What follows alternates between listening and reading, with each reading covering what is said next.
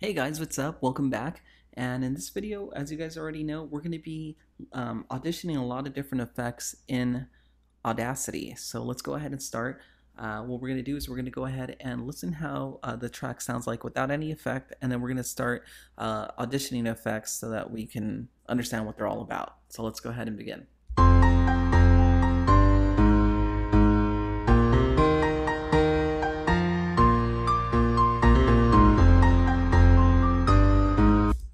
So we're pretty familiar how that sounds like, and believe me, we're going to hear it a lot more times throughout this uh, this video. But uh, let's go ahead and start uh, applying some effect. So the first one we're going to check out is going to be amplify. Essentially, what this is going to do is just change the dynamics, either by raising or lowering um, the dynamics by using a slider right here. Uh, what I recommend is that you go in small increments and definitely uh, stray away from going very high because you can do a lot of damage to, uh, of course, your hearing, the speakers that you're using, uh, headphones, and of course, even your sound card. You can blow it out. So um, I recommend you going in very small steps. Uh, for this example, we're going to go ahead and uh, just lower the amplification, just keep things safe. I'm going to hit preview and we'll hear how it sounds.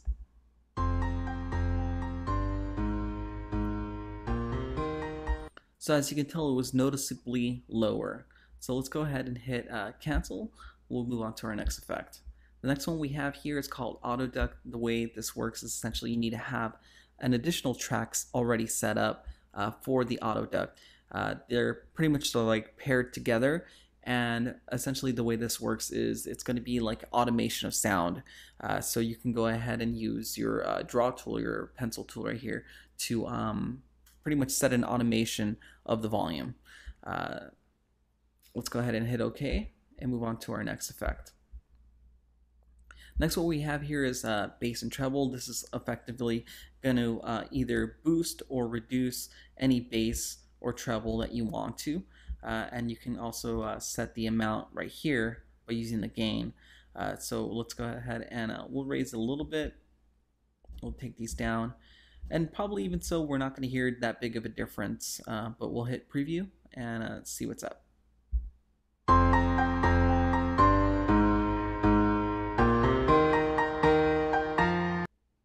So not such a big uh, difference, but there was a difference. Uh, you probably heard it a little bit better if you're wearing headphones. Um, but yeah, uh, this is another effect that's in here. Let's go ahead and hit cancel, move on to our next effect. Now let's go ahead and take a look at this one right here. It says change pitch and it'll do exactly that. Um, essentially you could uh, either raise or uh, lower the uh, semitones to give you a different pitch effect. Uh, so let's go ahead and raise it. Let's, let's see if we can do a nice, uh, a nice even number. We'll do six. And should be fine. We'll hit OK. And we'll hear how this sounds.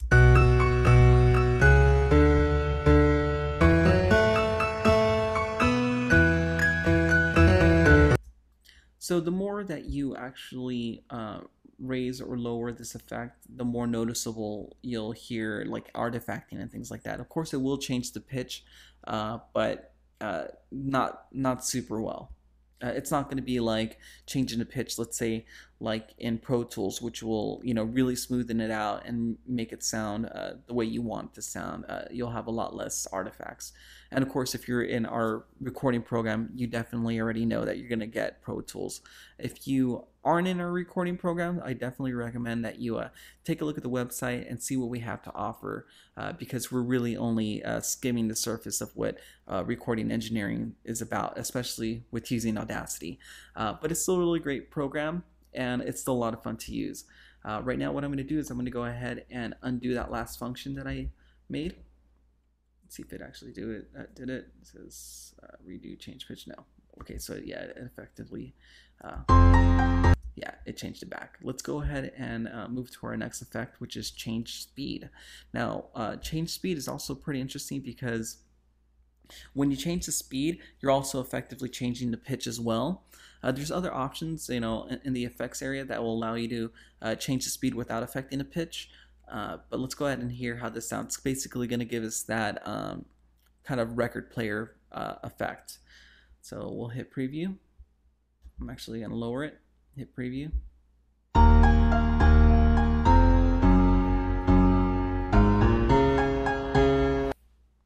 Okay, cool. Uh, so that's a pretty interesting effect. I mean, um, what I like about it is maybe using it for like either intros or outros or something like that.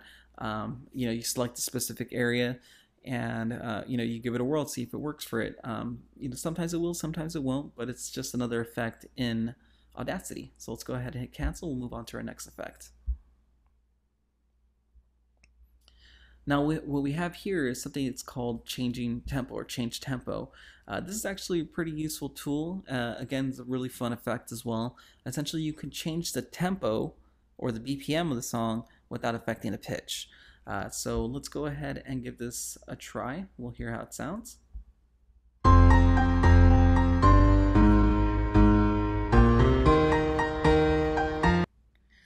So as you could tell, it did actually uh, slow down the tempo of the song, but at a cost again. Um, there was some artifacting there, and you could definitely uh, hear that there. I mean, usually the uh, smaller the percent change is, the less noticeable it will be. So uh, that's just kind of like a rule of thumb there. Let's go ahead and hit cancel, and we'll move on to our next effect. So next, what we have here is something called click removal. Uh, this is actually a pretty useful tool right here, especially if you have, let's say, like a crackling uh, input or output on an instrument, let, us say like a guitar or something like that. Maybe uh, you were sitting down and recording and um, you have kind of like a faulty input or output. Essentially, you could remove those clicks and pops by using uh, these sliders right here and adjusting to uh, what seems best. Now, this is not going to be very effective since there isn't any clicks or pops uh, in this recording right here. So I'm just going to go ahead and hit cancel and we'll move on to our next effect. So next what we have here is the compressor. Uh, we're not really going to go uh, too in depth about you know what a compressor is and what it does. Essentially, if you're in the recording uh, connection program, you learn all about it in, in the books and with your mentor and in the studio. It's a little bit too in depth to really um, summarize uh, in this uh, video, especially that you know this video is probably going to be around you know 15 to 20 minutes long, uh, and if I include exactly how a dy dynamic range compressor is, it probably lasts another you know 30 minutes. So uh, we're just going to go ahead and hit cancel and move on to our next effect.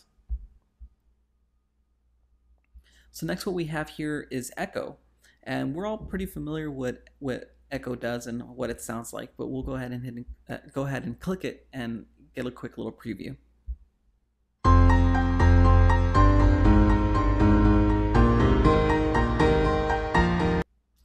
So uh, that's the echo effect. One thing I kind of would say I don't really like about Audacity too much is that you're not able to, um, you know, hit play and affect these uh, or make uh, changes on the effects in real time. Uh, so there's a bit of a learning curve.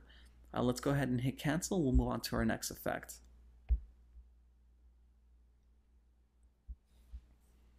So next what we're going to take a look at is equalization.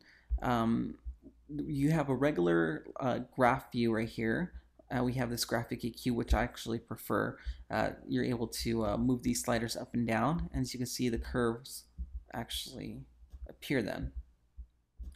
And I'm, I'm going to go ahead and make some dramatic changes right here uh, in this EQ, uh, just so that we can preview it and hear the notice noticeable change.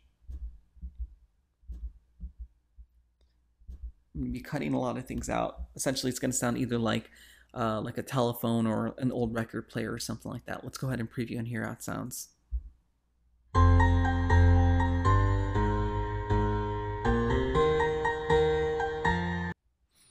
Uh, so I, I did make some big changes here. It wasn't too dramatic. Let's try it one more time. I'll move some more of these sliders down. Let's see if we can get that.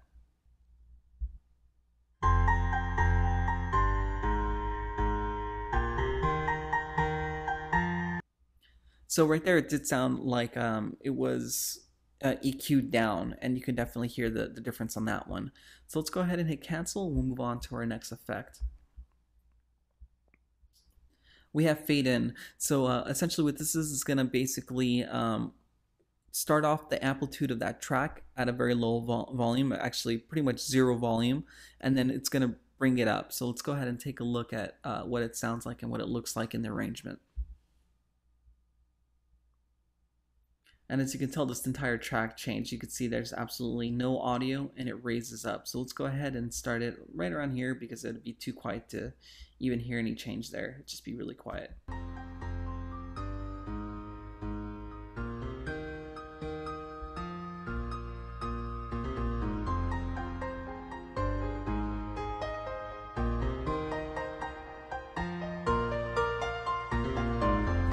So as you can tell, it gradually started getting louder. Uh, I'm going to go ahead and uh, undo that function. And let's go ahead and check out the next one, which is fade out. And essentially works exactly the same way.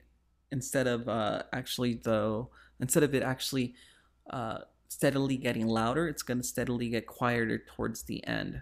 So let's take a listen and a look at how that looks like. So as you can tell at the end of the track, it just got quieter. And I'm gonna go ahead and start it off like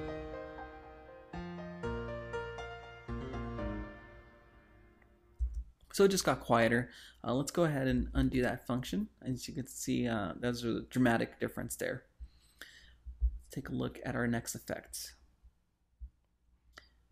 Invert. Now what this is going to do is it's effectively going to invert the wave file. Now this is the last effect that we're going to look at for this part of the video. We're going to continue the rest of them in the next video, but let's go ahead and uh, listen to invert right now. So it's not um, a huge, huge change, but what essentially what this does too, it's what does really well is uh, help you isolate specific frequencies and sounds uh, within that audio track.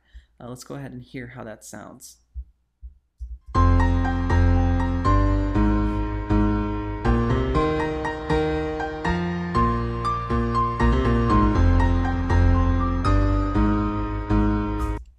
So not a really huge change that you could tell right off the bat, but it's actually really doing some uh, pretty pretty interesting things. And again, this works really well if you're trying to isolate specific frequencies. you're working in tandem with, let's say, uh, EQ or something like that.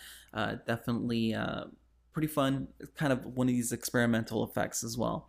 So we're going to go ahead and pick up on the next effects in the next video. So uh, go ahead and look out for that one. Thanks for watching this video. And if you're watching this video and you're not currently enrolled to the Recording Connection, this is only a small taste of what you could be learning in our program. The Recording Connection provides all of our students with industry standard software like Pro Tools to take your engineering skills to the next level. We also provide books with excellent lesson plans, a professional studio engineer who will mentor you and show you how to operate real studio equipment, and so much more. With the Recording Connection, getting finance is a breeze. We have many different tuition options, so getting hooked up at a studio near you is fast and easy. For more information, check out www.recordingconnection.com. And of course, I'll catch you guys on the next video.